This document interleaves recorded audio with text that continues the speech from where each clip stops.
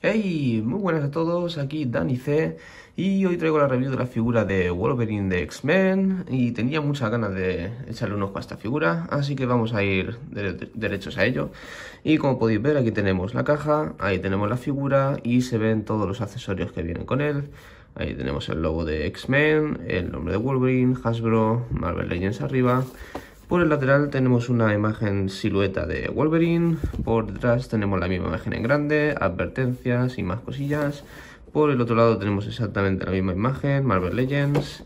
Por arriba Marvel Legends, el símbolo de X-Men otra vez. Y por abajo eh, código de barra, Marvel Legends y advertencias. Así que nada, vamos a abrir este pequeñín y ver qué nos trae. Vale, y aquí tenemos a Wolverine fuera del paquete, pero antes vamos a echarle un vistazo a los accesorios que vienen con él.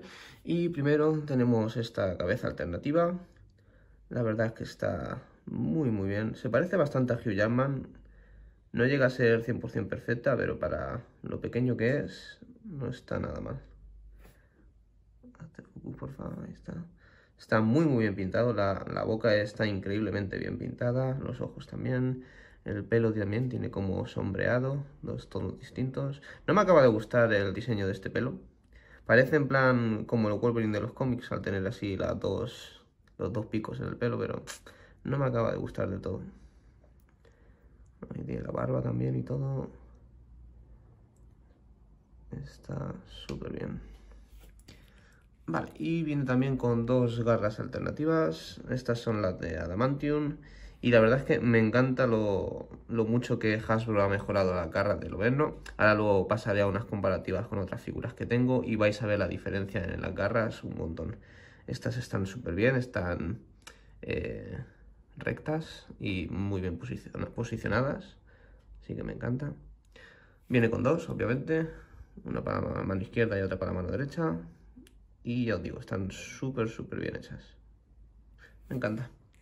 Vale, y ahora sí, vamos a echarle un ojo a, la figura del Loberno. Y esta cabeza me gusta más. Esta creo que se parece muchísimo más a Hugh Jackman, la verdad. Y también está súper bien pintada y esculpida. A ver si hace focus, ahí está. Está muy, muy bien. Viene con, con, las, con las chapas de identificación del ejército. Eh, no pone nada, si no me equivoco. Ahora luego lo miraré un poco más de cerca, pero creo que no pone nada. Viene también con esta camiseta. Muy bien, de tirantes blancas. Tiene como... Las líneas estas son texturas, está esculpido y están pintadas como amarillo. Aunque por desgracia se detiene ahí. O sea, está solo por delante y por detrás, pero en la parte frontal. Es decir que la musculatura de esta figura es una pasada, está súper bien. Ahí se puede ver las venas y todo, la definición de los músculos. Está súper bien. Ahí tenemos el cinturón de gobierno, también muy bien detallado y pintado. Eh, la figura eh, fuera del paquete viene con las garras de hueso. Está bastante bien, creo que están un poco demasiado amarillos. Deberían ser un poco más blancos. Pero bueno, está bastante bien. Está mejor la de la mano derecha que la de la mano izquierda. No sé por qué. Hay como más separación y está mejor proporcionado. Y los pantalones están muy muy bien hechos, la verdad. Tienen mucha textura. Y la pintura es una pasada, parecen unos vaqueros de verdad. Y por último ahí abajo tenemos las boditas. Por detrás. Eh, tiene pines en la rodilla, pero en el brazo no. Es un nuevo sistema de articulación que va a utilizar Hasbro, creo, en algunas figuras a partir de ahora. Está bastante bien, queda bastante estético, así que no está mal. Pero por lo general, muy, muy bien. Vale, vamos a pasar a ver la articulación del vendo. Y la cabeza, a ver, va arriba hasta ahí, no va mucho. Abajo va bastante bien. Tiene movimiento 360. Eh, las cadenas no están fijas ni nada, están ahí flotando, se mueven para donde quieres. Eh, tiene mucho, mucho tilteo. Muchísimo, de hecho, muy bien. Los hombros van arriba hasta ahí. Abajo hasta ahí. Gira a 360 grados y la articulación está súper dura, eso está muy muy bien porque prefiero que esté dura a, a, que se mueva solo, está muy bien. Tiene articulación de mariposa, va atrás hasta ahí, adelante hasta ahí, tiene articulación en el bíceps, tiene una doble unión en el codo, que se mueve bastante bastante bien, no está mal. La muñeca gira en 360 grados y van de arriba abajo. Esto se aplica para todas las manos. Tiene articulación en el torso, va hacia adelante muy muy bien. Hacia atrás también muy muy bien. Tiene articulación en la cadera. Las piernas se mueven muy muy bien, de hecho, casi todo el camino. Va hacia adelante hasta ahí. Hacia detrás no va mucho. Tiene articulación en el cuádriceps. Tiene doble unión en la rodilla que va, wow, todo el camino. De hecho, se puede chocar su propio culo.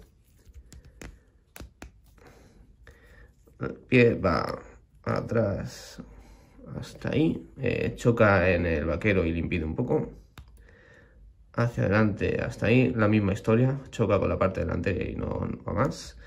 Y tiene pivoteo.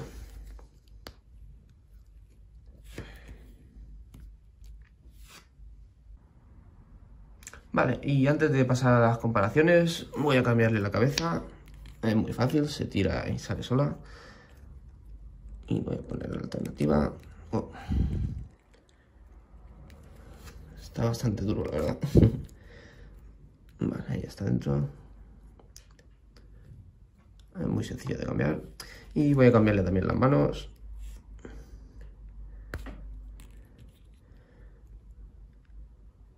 Probablemente lo deje así, ya que prefiero la garra de Adamantium.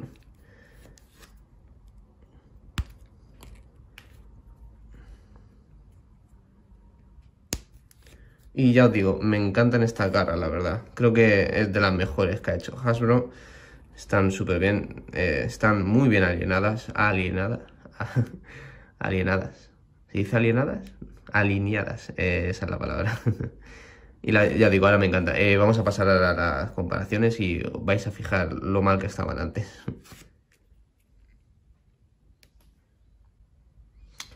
Va, y aquí lo tenemos con una figura de Wolverine de los cómics.